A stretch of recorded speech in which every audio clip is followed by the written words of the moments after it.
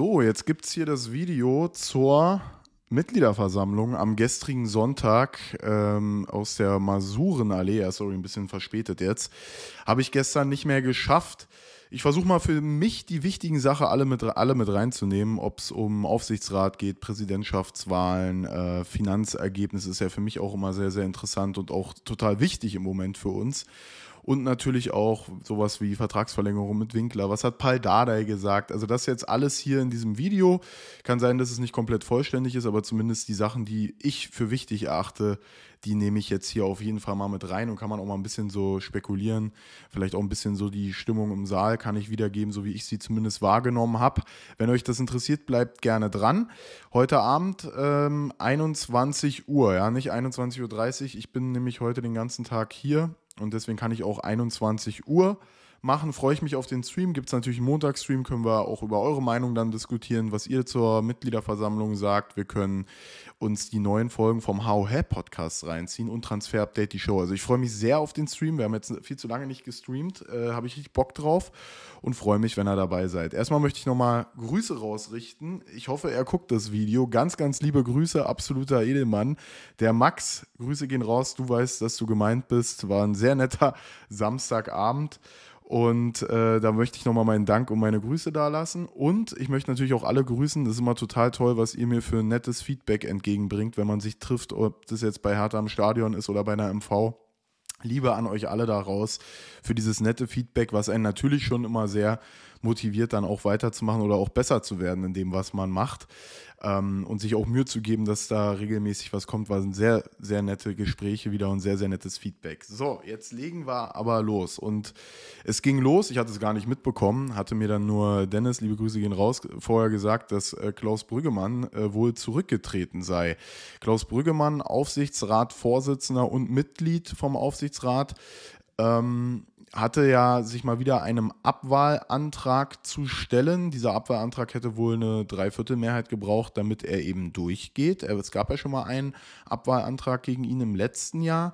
Da hatte er allerdings nur 51 Prozent der Stimmen, die ihn gerne abgewählt hätten. Das reichte dann nicht aus. Und dieses Mal war es so, dass er freiwillig im Vorhinein zurückgetreten ist. Im Übrigen genauso wie Renate Dömer damit war dann vorher schon mal klar, es wird mal bald wieder Aufsichtsratswahlen geben für die Mitglieder und äh, der Aufsichtsrat reduziert sich auf drei Leute. Dann hatte Fabian Drescher, der ja für den ähm, ja, im Krankenhaus liegenden Kai Bernstein quasi diese Moderation dann übernommen hat. Kai Bernstein hat ja auch eine Grußnachricht geschickt ähm, aus dem Krankenhaus und auch seinen Bericht quasi vorgetragen. Aber das hatte dann Fabian Drescher, der Vizepräsident, übernommen. Und ähm, ja, er wurde darum gebeten, den Brief von Klaus Brüggemann vorzulegen. Äh, vorzulesen und das war dann irgendwie schon eine kuriose Situation, wenn gefühlt natürlich auch er kritisiert wird in einem Brief, was vorgelesen wird, wobei es da eigentlich hauptsächlich um Kai Bernstein ging. Und in dem Brief, wo er dann eben gesagt hat, dass er zurücktreten wird und dass er weiß, dass er damit halt, ja, seinen Gegnern, ne, ähm, dass, er, dass er das damit nur befeuert oder es denen einfacher macht ähm, sagte trotzdem, er will das Beste für Hertha BSC und auch seine private Situation und diese ganzen Anfeindungen, das ähm, möchte er auch nicht mehr. Und er hat auch darunter gelitten und das glaube ich auch, weil da natürlich schon immer viel Druck dann auf einem lastet. Und dass er sich eben deshalb dafür entschieden hat. Dennoch ähm, hat er halt auch so Sachen gesagt, da wusste ich dann direkt, ei, erinnert mich ein bisschen an Ingmar Pering, der hat es zwar bei seinem Rücktritt nicht über, bei der, bei der Mitgliederversammlung verkünden lassen, aber eben kurz vorher über die Presse in Form von Interviews und Stellungnahmen. Und es war schon eine krasse Abrechnung. Und ich wusste schon, als der erste Satz kommt, ah, ja, ja, jetzt kommt bestimmt gleich was, was, kann ich ja mal zitieren, Kai Bernstein ist privat bestimmt ein netter Mensch und er hat für einen überragenden Support aus der Kurve gesorgt. Er ist aber sichtlich überfordert mit dem Präsidentenamt und erst recht mit einer etwaigen bezahlten CEO-Position. Werteorientierung, keine Vetternwirtschaft zusammenführen sollte man nicht nur im Wahlkampf propagieren, sondern wenn man im Amt ist, auch leben und nicht konterkarieren. Also da sieht man schon, dass diese Gerüchte, dass das Verhältnis zwischen Kai Bernstein und Brüggemann aus welchen Gründen auch immer, zerrüttet sein soll, auf jeden Fall der Wahrheit entspricht, weil sonst äh, macht, das ist ja eine klare Abrechnung dann auch mit der Person. Äh, ist auch immer lustig, wie ähm, dann die Leute erstmal sagen, ist bestimmt nett, aber er ist absolut unfähig, so ungefähr. Ähm, was ich hier interessant fand, ähm, dass er gesagt hat, auch nicht für eine etwaige CEO-Position, da hat die Welt zum Beispiel drüber geschrieben und sagte, ja, dass ähm, sich ja in den letzten Wochen, Monaten sowieso schon das Gerücht im Umfeld verdichtet hat, dass Kai Bernstein von seinem äh, Geschäftsführerposten, der ja bei Hertha immer noch als, ich glaube, als einziger, äh, nicht Geschäftsführer, sorry, Präsidentenposten, ist ja immer noch der einzige Profiklub äh, in Deutschland oder zumindest der ersten zwei Ligen meines Kenntnisstands nach, korrigiert mich da gerne, wo es kein Gehalt für das Amt des Präsidiums gibt, also wo es ein reines Ehrenamt ist. Ne? Und da sagt jetzt die Welt, da verdichten sich schon länger die Gerüchte, dass Kai Bernstein eben in eine bezahlte Position äh, quasi wechseln will. Und das will hier äh, Klaus Brüggemann quasi direkt mal sagen, dass er das auf jeden Fall nicht kann und geht eben auch nochmal tiefer und sagt, dass es eben nicht alles nur ja, in einer Vision geteilt werden soll, wenn es um Wahlkampf geht, sondern dass man das auch leben muss und dass er das äh, bei Kai Bernstein wohl überhaupt nicht gesehen hat. Ja. Ähm, Brüggemann hat sich dann auch nochmal über Thorsten Klein geäußert, ähm, der ja auch im Aufsichtsrat ist und ähm, vorher der Vorsitzende war. Darüber hat er gesagt, dass mein Vorgänger mir in den letzten eineinhalb Jahren das Leben schwer gemacht hat und wie zu hören war, immer wieder verlautet hat, dass er mich verhindern muss und alles tun wird, dass er wieder den Vorsitz übernimmt, ist nicht nur unsportlich und schadet Hertha BSC. Beim Kicker hat er dann auch noch gesagt, äh, wenn Eitelkeiten und Machtansprüche wichtiger sind als der Verein, dann läuft einiges schief bei unserer alten Dame. Ich verbiege mich nicht, dann gehe ich lieber. Ja, was soll ich jetzt dazu sagen? Kann ich von außen nicht beurteilen. Ähm, ich habe auf jeden Fall immer gerne Leute im Präsidium und im Aufsichtsrat, die natürlich meinungsstark sind, was ja immer jeder von sich behauptet, und die eben nicht zwangsläufig einfach immer nur sagen, ja, mit dem bin ich gut, jetzt trage ich jede Entscheidung mit, also so ein typischer Ja-Sager zu sein. Du brauchst das auch. Du brauchst auch Gegengewichte im Präsidium und auch im Aufsichtsrat, auch wenn das manchmal schwierig ist, aber es muss halt immer konstruktiv sein. Ne? Es muss immer dazu führen, dass es das beste Ergebnis gibt. Der eine hat die Meinung, der andere hat die Meinung. Es muss immer das beste Ergebnis geben für Hertha. Ähm, das ist mir schon total wichtig, aber das kann ich von außen natürlich überhaupt nicht äh, beurteilen. Ich kann nur sagen, wenn es um Hertha BSC geht, glaube ich, ist keinem damit beholfen, so einen Brief zu veröffentlichen. Also das wirkt für mich dann schon sehr wie Nachtreten, wie wenn man jetzt, sage ich mal, keine Ahnung, man hat irgendwo seinen Job verloren und tritt dann nochmal komplett nach. Klar kann man machen, um eben auch seine Sicht der Dinge darzustellen. Gerade wenn man in der Öffentlichkeit viel Kritik ausgeübt ist, die man vielleicht für äh, ungerechtfertigt findet und sich da unfair behandelt fühlt, auch von der öffentlichen Wahrnehmung, kann ich das schon verstehen, wenn man das richtig stellen will. Aber irgendwie so eine richtig feine Art fand ich das sowohl bei Pering als auch hier in dem äh, Fall nicht. Unabhängig davon, dass ich natürlich nicht weiß, was da alles vorgefallen ist. Es ging ja wohl unter anderem auch um diese Gersbeck-Thematik, wurde zumindest immer spekuliert, dass da Brüggemann auf jeden Fall auch ein deutlicher Gegner davon war. Ich kann es nicht sagen. Auf jeden Fall hatte Brüggemann eben auch nochmal gesagt, dass die ganzen Fehler ähm, unter anderem eben unter der Leitung von Klein passiert sind und auch abgesegnet wurden vom Aufsichtsrat, die eben zu dieser schlimmen wirtschaftlichen und sportlichen Lage geführt haben, weil Klein eben so lange da war. Ähm, also da hat er auch noch, es war jetzt nicht nur gegen Kai Bernstein, sondern es war eben auch gegen Klein. Wie soll ich das beurteilen? Keine Ahnung. Ähm, ich finde nur, wenn man sowas äußert über jemanden, dann könnte man dann mach's doch vor Ort, vor den Leuten. Klar, dann hätte es wahrscheinlich extreme Pfiffe gegeben, muss man sich dann auch erstmal trauen, aber ich finde, weiß ich nicht, fand ich schon damals bei Pering nicht gut und fand ich auch so eigentlich nicht gut, dieses äh, Nachgetrete, weil das kann ich mir nicht vorstellen. Wie soll das Hertha BSC jetzt helfen? Es kann in dem Sinne helfen, dass man Leuten sagt, ey, guck mal bei den nächsten Wahlen, dass ihr aus dem Lager irgendwie gar keinen mehr wählt, weil guck mal, was die alles gemacht haben. In dem Sinne schon. Aber dann zurückzutreten und zu sagen für Hertha und dann eben so nachzutreten, also ich, das macht ja keine, keine gute Außendarstellung für uns und weiß nicht, wie uns das jetzt wirklich was bringen soll, ehrlich gesagt. Aber gut, das ist eine andere Geschichte. Wir können es nicht beurteilen. Wir waren nicht dabei. Man hört immer viele Sachen, was davon stimmt, was die Leute immer da ähm, für Ziele verfolgen, wenn sie einem sowas sagen. Keine Ahnung. Auf jeden Fall äh, war es schon absehbar, dass äh, Brüggemann ähm, sich da nicht so gut mit Kai Bernstein äh, verstanden hat. Auf jeden Fall kann man aber auch nochmal sagen, am Ende seines äh, Briefes stand dann auch nochmal, dass er sich selber sicher gewesen ist, dass er nicht, dass es nicht zur Abwahl gekommen wäre, ja, weil er mit so vielen Leuten im Umfeld von Hertha eben gesprochen hat und so viel Zuspruch bekommen hat, dass er sich sicher war, dass von den anwesenden Mitgliedern knapp 2000, ähm, dass er da eben, dass eben nicht diese Dreiviertelmehrheit, also 75 Leute, die dafür stimmen, dass er abgewählt werden soll. Ähm, da war er sich wohl sicher, dass das nicht passiert wäre, aber das ist natürlich jetzt absolut hypothetisch, zumal der letzte Amtwahlantrag ja schon 51 Prozent Zustimmung äh, erlangt hat und das ist ja schon eine Weile her. Keine Ahnung.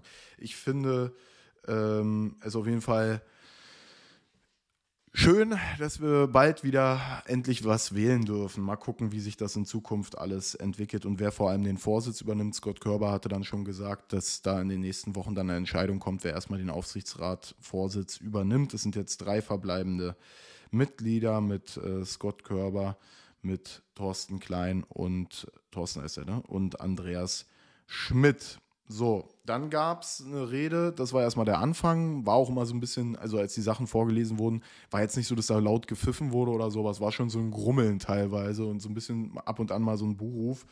Äh, so war zumindest die Stimmung dann im Saal.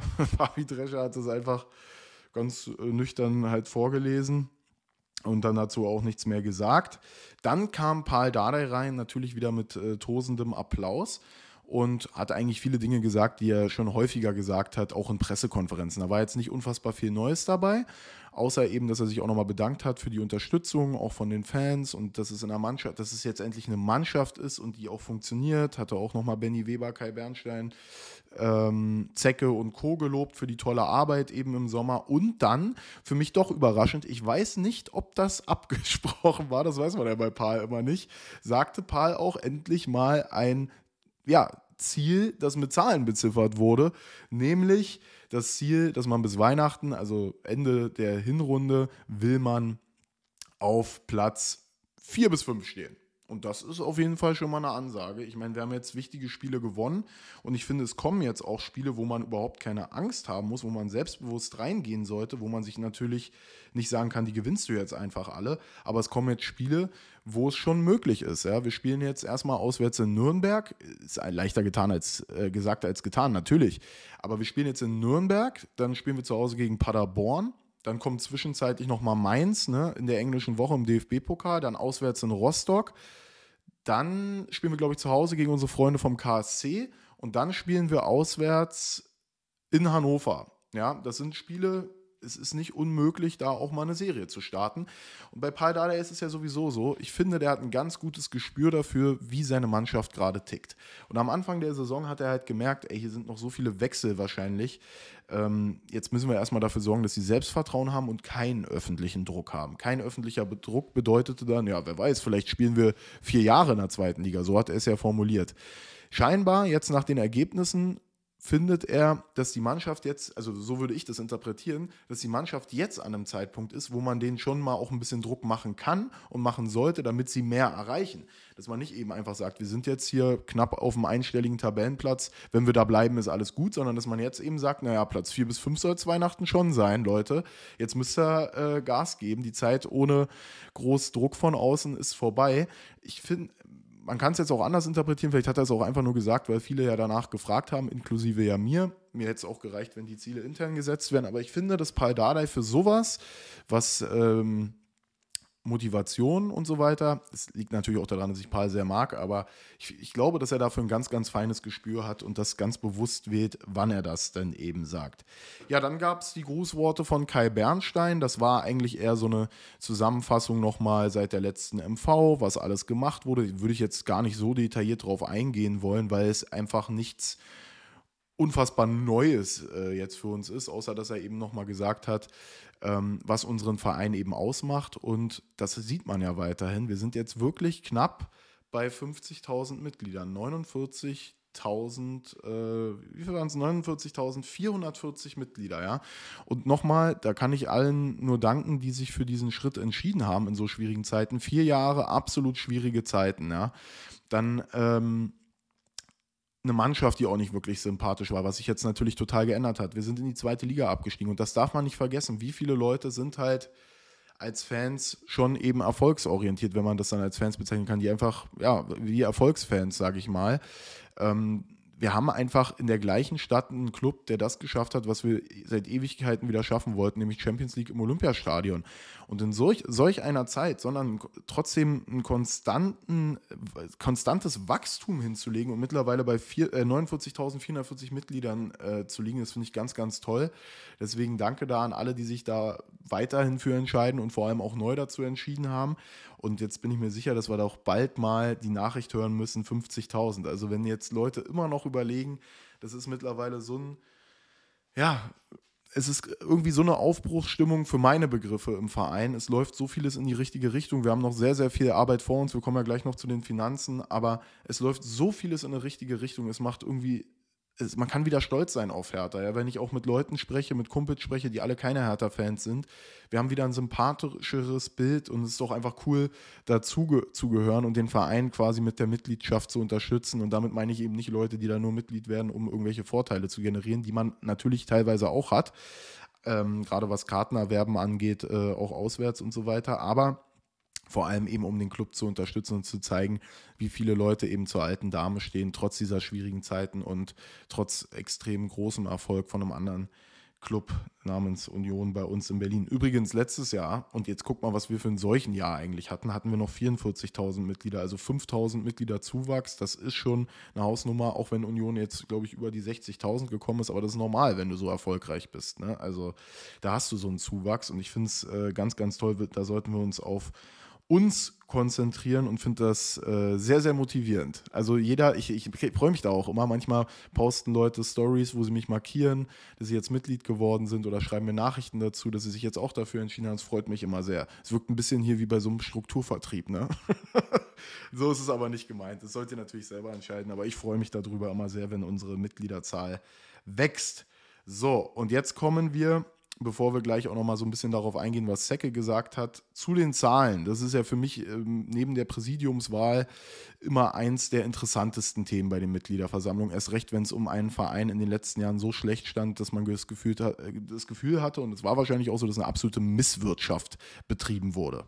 Zu den Zahlen, da sind wir wieder bei, wie wird man in der Öffentlichkeit dargestellt, liebe Freunde, ja? Du kannst alles zu positiv sehen, du kannst alles zu negativ sehen, um Schlagzeilen zu machen. Negativ-Schlagzeilen machen natürlich immer ja, mehr Auflage. Ich versuche das immer aus meiner Sicht halt zu sagen. Ich finde, ja, man sollte schon immer kritisch sein, jetzt aber auch nicht alles schlecht reden. Fangen wir mal mit den Zahlen an. Wir hatten ja ein prognostiziertes Minus für die abgelaufene Saison, das abgelaufene Geschäftsjahr von 65 Millionen Euro. So hieß es zumindest mal am Anfang. Jetzt ist es doch deutlich mehr geworden, was ich mir schon gedacht habe. 99 Millionen Euro minus 22, 23 in der Saison. Mehr als erwartet. Wir haben deutlich weniger Umsatz gemacht. 20 Millionen, was unter anderem natürlich auch damit zusammenhing.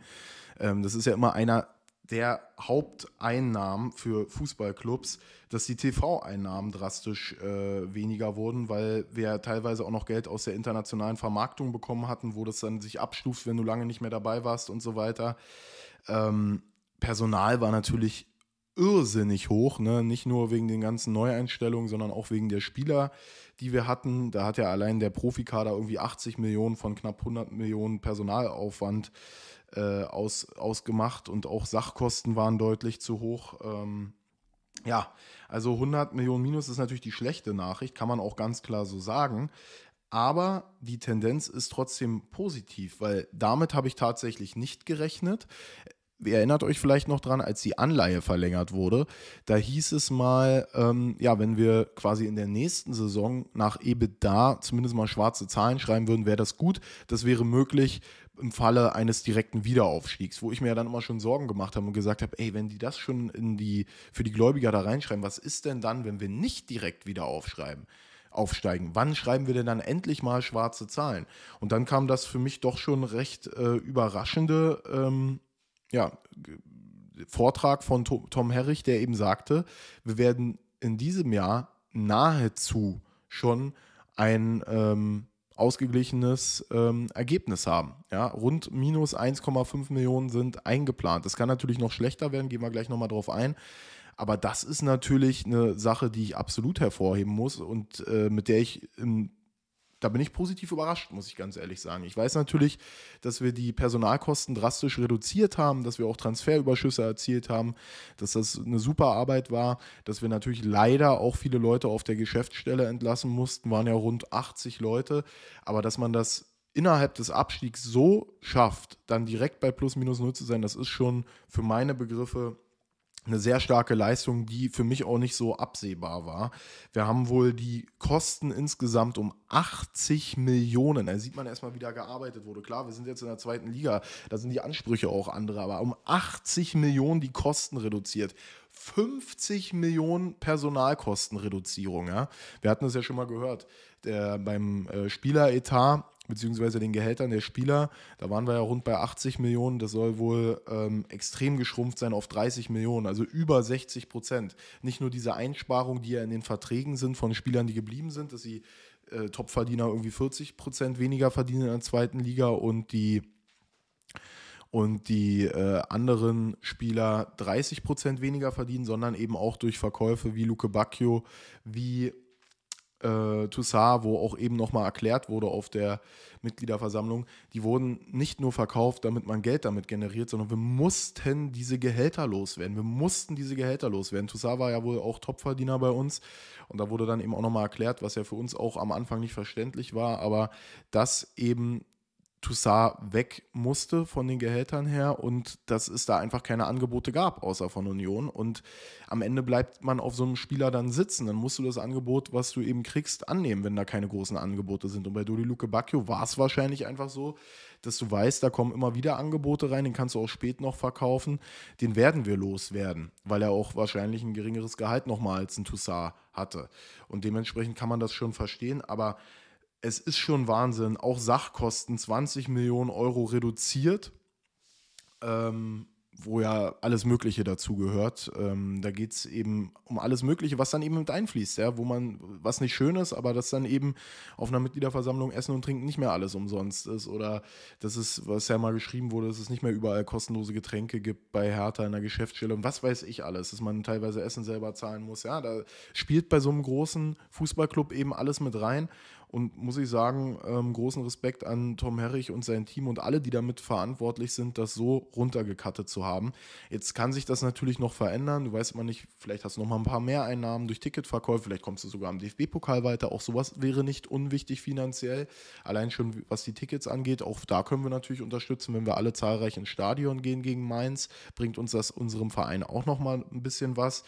Ähm, wir haben aber auch noch einige Gerichtsprozesse am Laufen. Da hatte Tom Herrich gesagt, 11,5 Millionen circa Rückstellungen gebildet. Ähm, ich denke mal, da ist jetzt noch nicht abgezogen, weil das ja wahrscheinlich vorher geplant war. Rüne Jahrstein, dann haben wir noch Max Jung, Pablo Tiam, Bobic und so weiter. Das heißt, da müssen wir dann gucken, wie viel wird das wirklich werden. Und ist es dann am Ende mehr als die Rückstellung, die wir gebildet haben, dann sieht das Betriebsergebnis natürlich schlechter aus als prognostiziert, aber vielleicht, wer weiß, vielleicht schließen wir auch gar nicht so schlecht ab bei den Prozessen und haben dann am Ende sogar mehr Rückstellung gebildet als benötigt, sodass es sogar doch noch ein größeres Plus gibt. Also das ist natürlich schwer ähm, einzuschätzen, aber von diesen Jahren, 100 Millionen minus, 70 Millionen minus, 50 Millionen minus, was auch immer, da wegzukommen aus dieser Schuldenfalle und erstmal einen äh, klaren Cost-Cut zu machen, dass das so schnell geht, hätte ich eigentlich nicht vermutet, aber finde es erstmal gut, das ist der richtige Weg. Dennoch ist es natürlich so, dass wir, da gab es dann auch nochmal einige Nachfragen zu, ähm, dass wir ja auch irgendwann 2025 die Anleihe trotzdem zurückzahlen müssen und auch dort höhere Zinskosten derzeit schon haben. Ne? Das ist auch alles mit eingeflossen ähm, in die Betrachtung. Ähm, da konnte er allerdings noch nicht so eine richtige Antwort drauf geben, weil ich habe auch immer gesagt, ja, was ist denn, wenn wir nicht wieder aufsteigen? Selbst wenn wir ins plus minus null kommen, haben wir immer noch Schulden und wir haben immer noch ähm, nicht mehr Geld generiert. Ne? Also klar kommt da auch noch, das darf man vielleicht auch nicht vergessen, kommen da natürlich auch noch die Tranchen rein, die, ähm, Triple Seven gezahlt hat, aber die sind ja eigentlich auch größtenteils schon verplant. Unser Eigenkapital, was sich ja mal vor zwei Jahren noch auf über 100 Millionen Euro belaufen hat, auch wenn da Schulden gegenüberstanden, beläuft sich jetzt nur noch auf 5 Millionen. Also das ist natürlich für einen Fußballclub wirklich nicht mehr sonderlich viel. Wir kennen das ja noch, dass auch in Lizenzierungsverfahren es Strafen geben kann für Clubs, wo das Eigenkapital negativ ist, erst recht, wenn die Prognose negativ ist. Das ist natürlich alles nicht gut. Aber ähm, trotzdem kann man ja sagen, wir sind auf dem richtigen Weg. Wir wissen nicht, was mit der Anleihe ist. Er sagte dazu, Tom Herrich, muss man dann schauen.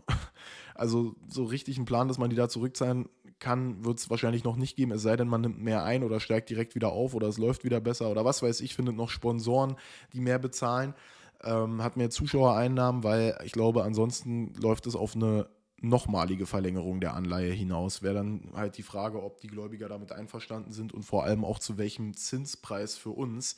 Das wurde, ähm, ja, das hatte zumindest Tom Herrich so gesagt, dass man dann eben schauen muss, ob man das eben nochmal verlängert. So hörte sich es zumindest für mich an. Aber man sieht, man kann es so schreiben, man kann schreiben, oh Gott, Hertha 100 Millionen Minus, was natürlich schlecht ist. Es ist nochmal eine Erhöhung des Minus, es ist nochmal schlechter als erwartet. Das will ich gar nicht äh, schönreden. Es ist schlecht, auch wie, wie die Saison dann abgelaufen ist. Aber wir haben jetzt eine gute Marschroute. Und ich glaube, dass auch für das nächste Lizenzierungsverfahren sowas absolut wichtig sein kann, weil die Prognose wirklich positiv ist. Beim letzten Mal haben wir die Lizenz unter Auflagen bekommen.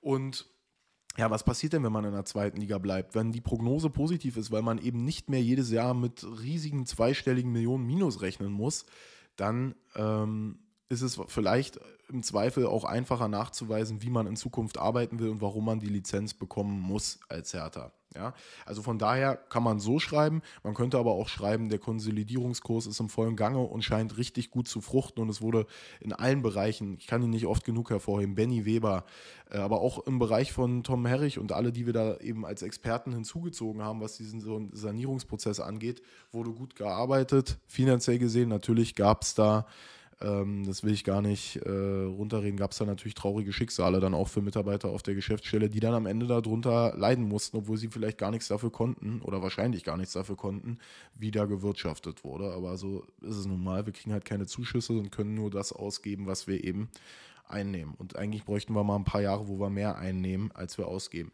Man kann ja auch noch mal sagen, das weiß man ja auch nicht. Es wäre natürlich toll, wenn man mal aufsteigt und irgendein Jugendspieler hat, der sich so super entwickelt, dass man da vielleicht einen zweistelligen Millionenbetrag, ist jetzt Utopie, aber dass man sowas irgendwie generieren kann, ja, weil das sind natürlich dann auch Einnahmen, die einfließen, mit denen du nicht groß gerechnet hast, die natürlich auch wieder reinvestiert werden sollten, aber wo man vielleicht einen Teil dann auch zurücklegen kann, um eben irgendwann mal so eine Anleihe zu bezahlen. Ne? Das muss schon unser Weg weiterhin sein. Zecker hat dann auch die Stimmung total aufgelockert, wieder so wie man ihn kennt.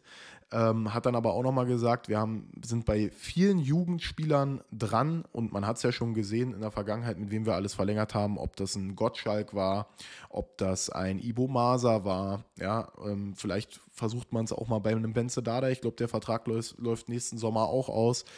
Aber er hat eben auch schon mal die Erwartungen gebremst, indem Zecke gesagt hat, ähm, man kann nicht alle Spieler halten. Und das liegt nicht daran, dass wir nicht alles geben, die zu halten, sondern dass da teilweise wirklich sehr, sehr große Vorstellungen bei den Spielern, Beratern und Eltern sind, obwohl es eben noch Jugendspieler sind und dass man so viel ins Risiko dann bei den Verträgen teilweise nicht gehen kann, weil wir kennen es ja auch, klar, großes Talent. Ob der dann wirklich uns direkt weiterhilft, ist die nächste Frage. Und dann kannst du ihm halt nicht einen Vertrag anbieten. Er hat gefühlt äh, fünf Minuten mal bei der zweiten bei uns gespielt und soll direkt verdienen wie ein Profi. Das geht eben auch nicht. Ja? Wenn die allerdings schon Angebote bekommen von etwaigen Top-Clubs, ob es aus der Bundesliga ist im Nachwuchsbereich, da kennen wir ja einen Verein, der gerne bei uns äh, wildert, oder ob es eben aus dem Ausland sind, natürlich gehen die dann mit solchen Forderungen und Vorstellungen in unsere Gespräche rein. Wir können dann eben nur davon überzeugen, dass wir Leute haben, die sich den Weg langfristig angucken, die einen Entwicklungsplan haben und die ähm, wo die Durchlässigkeit auch einfach gut gegeben ist, dass sie eben Spielzeit bekommen. Das hat eben Zecker auch nochmal so gesagt.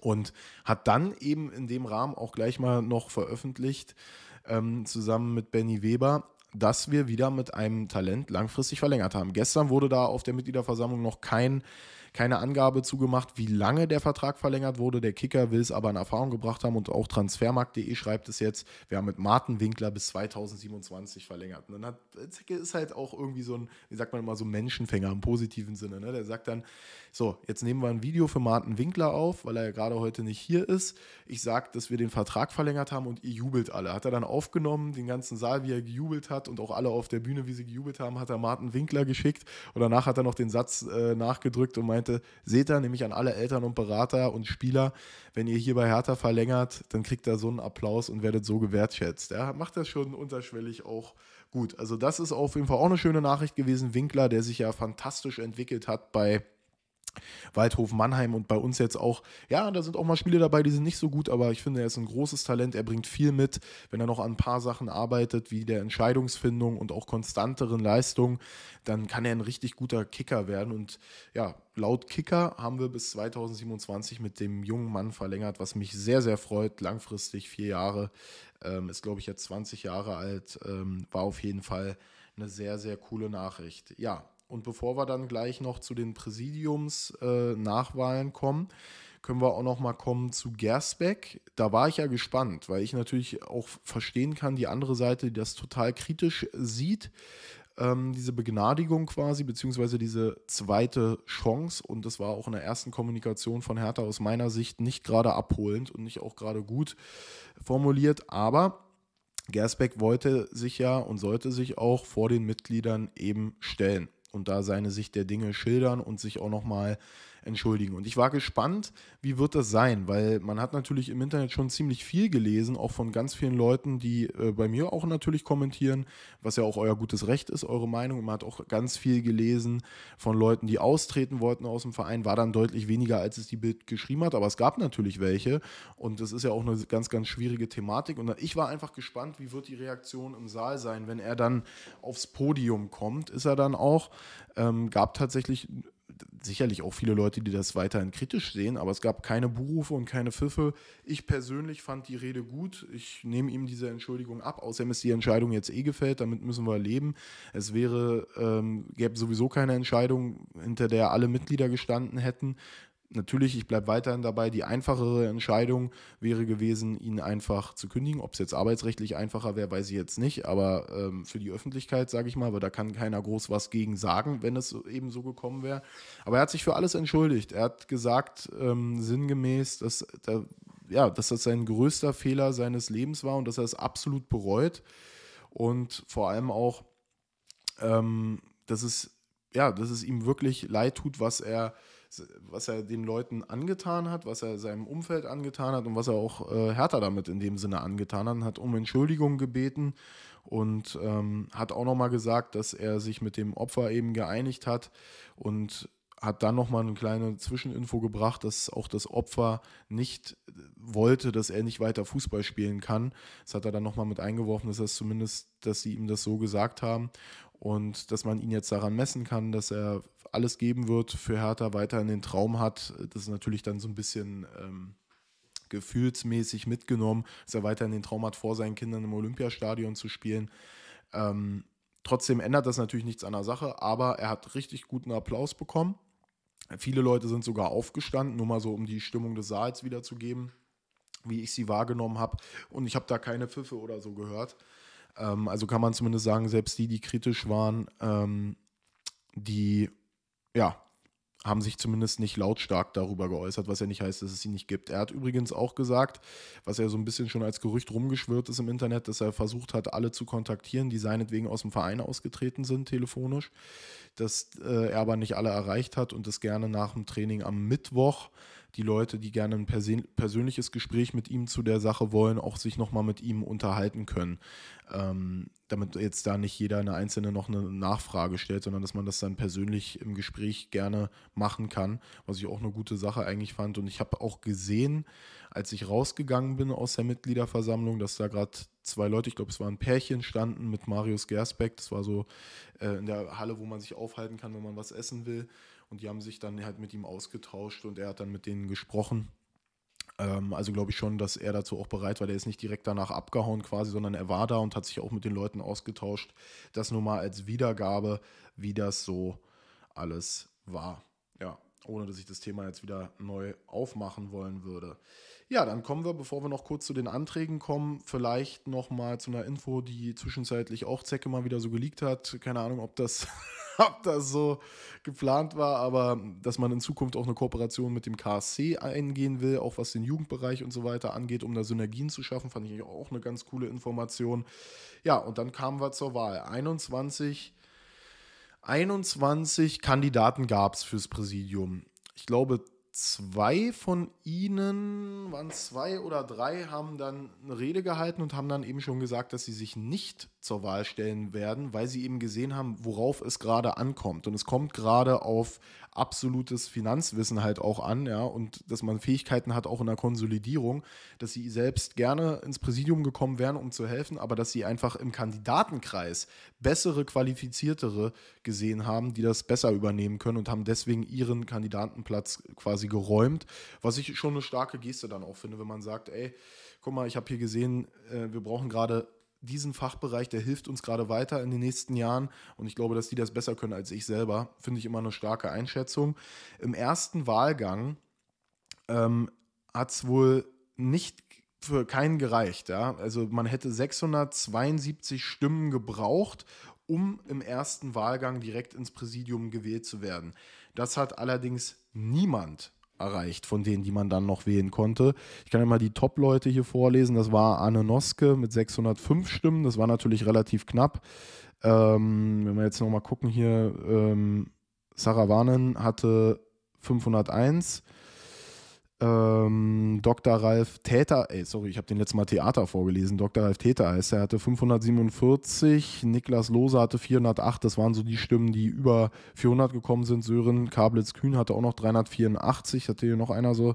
Ja, und dann ging es halt in den zweiten Wahlgang, wo dann auch viele gesagt haben, ich trete dann zurück, damit ich eben frei den Weg machen kann für die, wo die Stimmen ähm, wo die Stimmen schon hoch sind, sodass man dann noch aus gewissen ähm, Anwärtern dann eben wählen konnte. Ja, und im Ergebnis haben es drei ins Präsidium geschafft.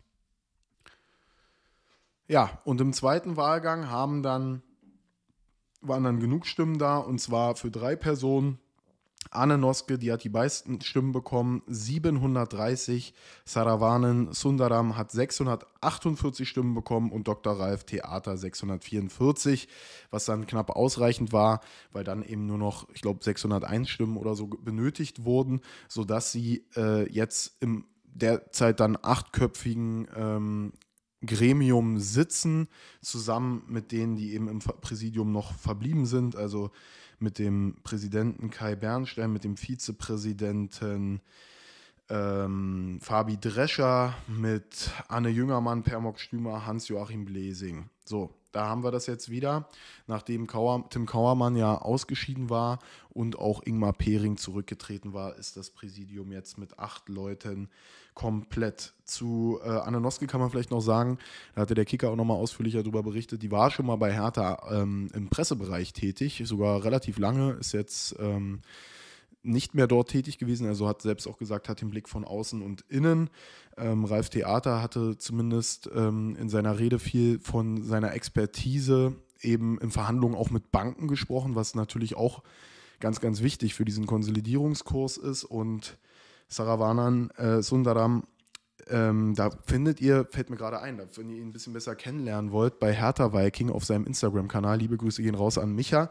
Der macht ja immer Hertha-Taxi und das hat er ja auch mal mit Saravanan gemacht. Ähm, könnt ihr euch mal angucken. Wir dürfen ihn übrigens, hat er selber in seiner Rede gesagt, kurz Saranen ist derzeit, äh, war auch in Startups tätig im Tech- und Werbebereich. Ähm, hat auch ganz lustig gesagt äh, in seiner Rede er leitet ein Team von einer der größten Steuerberateragenturen äh, in Deutschland und das, obwohl er nicht mal Steuerberater ist. Also in vielen Bereichen tätig. Ich hoffe, wir haben die richtige Wahl damit getroffen und dass wir in Zukunft äh, trotzdem da natürlich auch kritikfähige Leute drin haben, Leute, die auch Kritik äußern, die trotzdem, wie es ja jeder immer sagt, ähm, eben auch meinungsstark sind, ja, und ihre Meinung auch vertreten, sodass es dann eben zum Konsens kommt. Man braucht natürlich auch nicht, dass es immer nur blockiert wird, man muss schon irgendwie Hand in Hand arbeiten, das ist eben schmaler Grad, man muss Hand in Hand arbeiten, aber man muss gleichzeitig auch Ähm, man muss natürlich gleichzeitig auch kritisch bleiben und vor allem ab und an auch mal den Gegenpol bilden in wichtigen Entscheidungen, um dann eben die beste Entscheidung für Hertha zu treffen. Ja, dann gab es noch den Antrag ähm, über die digitale über das digitale Abstimmen, ob man die Satzung dahingehend ändern soll. Der wurde mit großer Mehrheit abgelehnt. Zwischenzeitlich hatten sich dazu auch nochmal äh, Leute aus dem äh, Kommissionsausschuss, die ja gerade die Satzung eh überarbeiten, zu Wort gemeldet zu diesem Antrag. Und es hatten sich, hatte sich auch nochmal Thomas Herrich dazu gemeldet, dass es ja sowieso im Raum steht, aber dass es schwierig wird, wenn man sowas eben direkt in eine Satzung festlegt und dass es eher Schwierigkeiten dann eben birgt. Und so wurde dieser Antrag über das digitale Abstimmen, was vor allem eben für Exilhertaner interessant ist, was ich auch absolut nachvollziehen kann, mit, ähm, wie es immer Dr. Lenfer sagt, mit überwältigender Mehrheit abgelehnt, sodass das gar nicht groß durchgezählt äh, werden musste. Nee, das war's. Die anderen Anträge hatten sich ja erledigt. Der eine Antrag zur Komplettabwahl des Präsidiums und auch äh, des gesamten Aufsichtsrats, der wurde ja zurückgezogen vom Mitglied und der andere Antrag, der war ja dementsprechend nicht mehr drüber abzustimmen, weil Klaus Brüggemann eben selbst zurückgetreten ist. Ja, ansonsten kann man auch sagen, ich weiß gar nicht mehr, wer das gesagt hatte. Ich glaube vom Revisionsausschuss, dass es vielleicht gut wäre, wenn die Mitglieder, natürlich soll man kritisch bleiben und natürlich auch Nachfragen stellen und auch Sachen verändern wollen, aber wenn man vielleicht nicht auf jeder Mitgliederversammlung eine Komplettabwahl von irgendwelchen oder Einzelabwahl erfordert von irgendwelchen Mitgliedern, die ja gerade erst gewählt worden sind oder von einem gesamten Gremium, sondern vielleicht wäre es einfach gut, wenn man dann mal die äh, Perioden, die Legislaturperioden auch abwartet. Ich meine, im nächsten Jahr kann ja der Präsident auch wieder neu gewählt äh, werden und auch die äh, Gremien gibt es ja, gibt's ja normale Intervalle. Also ähm, das hatte er mal angemerkt und hatte dafür auch Applaus erhalten, weil wir sind ja jetzt auf dem richtigen Weg oder wir sind zumindest auf einem Weg, den wir gerade bestreiten und ich glaube, dass es uns wenig bringt, immer zwischendurch alle möglichen Leute abzuwählen, sondern vielleicht ist es wirklich besser, dann ähm, die Wahlen, die sowieso tonusmäßig angesetzt sind, dann abzuwarten. Das war nochmal so ein Ding. Ich muss nochmal, was muss ich nochmal sagen? Ansonsten war das eigentlich eine gute Stimmung auf der Mitgliederversammlung. Ich persönlich finde, wir sind auf dem richtigen Weg. Ich hoffe, dass die Leute, die jetzt in den Gremien sind, gut zusammenarbeiten, dass sie weiterhin auch trotzdem kritisch bleiben, konstruktiv miteinander zusammenarbeiten und hoffe, dass es in eine richtige Richtung geht. Finde ja weiterhin, ähm, dass man das irgendwie mal abändern sollte. Das kann er natürlich nicht für sich selber machen. Das, äh, der Präsi das, das Präsidentenamt und sollte man auch über die Gremien nachdenken, auch wenn es da natürlich eine Aufwandsentschädigung gibt, aber da sollte man schon drüber nachdenken ja, das wie in anderen Vereinen eben auch bezahlt zu machen, weil das ja gar nicht für alle Leute, die vielleicht gut wären, auch in diesen Ämtern möglich ist, so viel Zeit da rein zu investieren, ohne eben dafür ähm, ein Entgelt zu erhalten. Ja, das müssen ja nicht unfassbare Summen sein, wie wir sie für gewisse Leute in der Vergangenheit hatten, aber zumindest mal so, dass man das als normalen Job wahrnehmen kann, weil man ja auch eine echt große Verantwortung darin trägt. Und wenn es sowieso branchenüblich ist, wäre ich sowieso dafür. Ob an diesem Gerücht was dran ist, dass äh, Kai Bernstein da wechseln will, kann ich nicht sagen. Mal gucken äh, was sich da ergibt. Ich bin derzeit soweit ähm, zufrieden, wie das jetzt alles gelaufen ist und bin gespannt, wie es in Zukunft weitergeht. Ihr könnt ja mal eure Meinung dazu reinschreiben, ob ihr selber da wart, wie ihr das so alles gesehen habt, ob ihr Dinge anders gesehen habt als ich ähm, und wie ihr das alles so findet. Waren ja viele Themen. Und dann freue ich mich auch gerne natürlich auf den Austausch bei Twitch heute Abend. In diesem Sinne, hau he auf eine erfolgreiche Woche und vielleicht, vielleicht, vielleicht den dritten Auswärtssieg in Folge. Also da müsste mal jemand nachgucken, wann wir das das letzte Mal geschafft haben. In diesem Sinne, ciao und hau he.